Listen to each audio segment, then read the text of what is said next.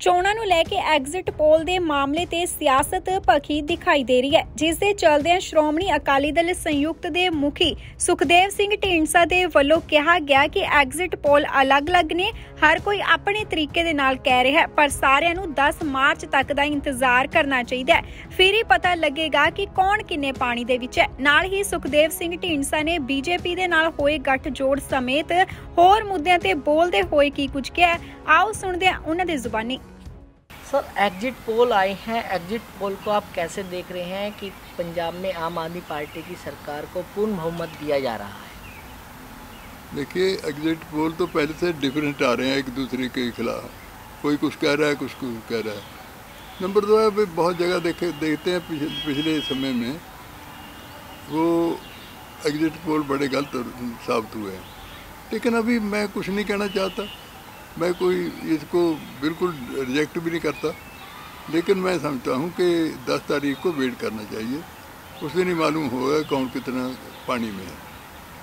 लेकिन सर जिस तरीके से आप मानते हैं कि जो पिछले दिनों किसान आंदोलन हुआ या ये सब कुछ हुआ इससे जो आपकी गठबंधन बना है इसको कहीं ना कहीं नुकसान होगा?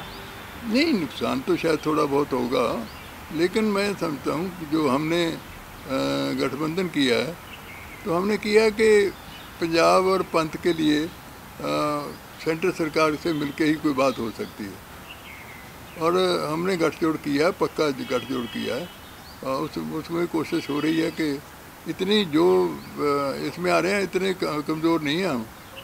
ये तो वक्त दस तारीख को बताएगा। क्या आप मानते हैं कि बीजेपी अभी तक तीन कम सीटों पर चुनाव लड़ती थी, लेकिन अब आने, जिस तरीके से चुनाव लड़ा है तो वोट बैंक के साथ साथ सीटें भी बढ़ेंगी।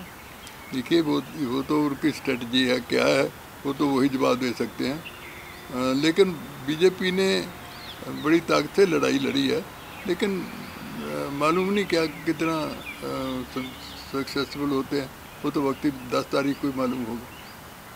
क्या जो आंकड़े हैं इस पर आप कितना सहमत रखते हैं? देखिए मैं इस पर इतना सहमत नहीं हो सकता क्योंकि उसके भी डिफरेंट डिफरेंट है। एक तो बीजेपी कांग्रेस की सरकार बना रहा है। कोई सौ सीट दे रहा है जरा कि पॉसिबल ही नज़र नहीं आ रहा। इसलिए कुछ, किसी को कुछ कहना इस वक्त में मुनासिब नहीं है। मैं समझता हूँ, हमारे गठजोड़ को बहुत कमज़ोर समझ रहे हैं। इतना हमारा गठजोड़ कमज़ोर नहीं है।